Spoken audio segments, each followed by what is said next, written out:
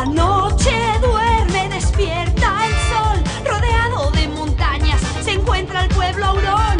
Funden el oro para fabricar herramientas de labranza y útiles de cocinar.